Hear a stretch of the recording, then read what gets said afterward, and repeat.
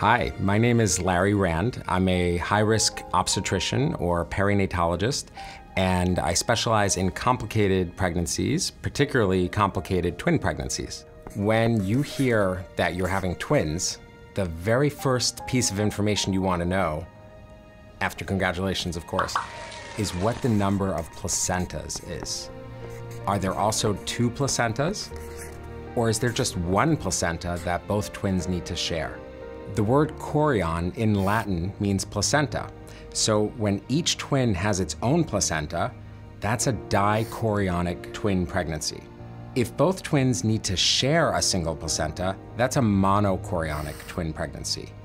This takes us back to the very beginning, because there are two ways that you can end up with twins. The first is that you actually ovulated two eggs, and each egg is fertilized by a sperm. That means you're going to end up experiencing basically two pregnancies in one uterus at the same time. We call this fraternal twins because they're really two siblings, two genetically different eggs at the same time.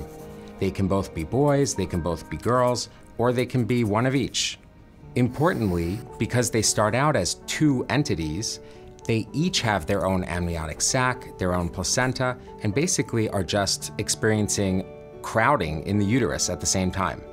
But they've each got their own set of resources from which their nutrition, oxygenation, and growth will come from.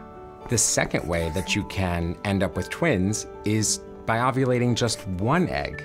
That egg is fertilized by a sperm, but then, not long after being an embryo, it splits right down the middle from one into two.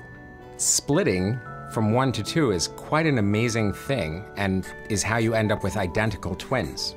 What's really interesting is that if that splitting mechanism happens really quickly and efficiently, then they'll split all the way down the middle. Separate fetuses, separate amniotic sacs, and separate placentas.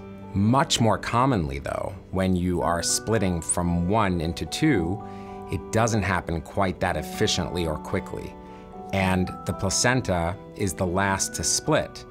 And as a result, the fetuses will split, the amniotic sacs will split, but they'll end up sharing a single placenta. Unfortunately, sharing a single placenta can pose quite a number of challenges.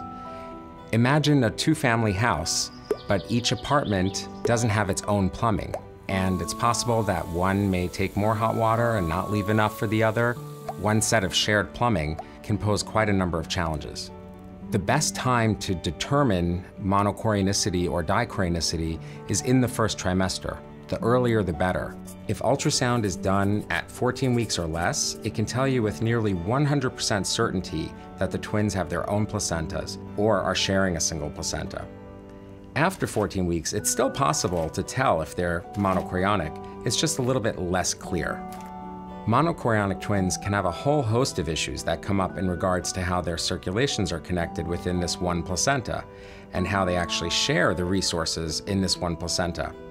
That's why it's critical that they're followed very closely with ultrasound, and in fact, much more frequently than they would be if they were dichorionic twins.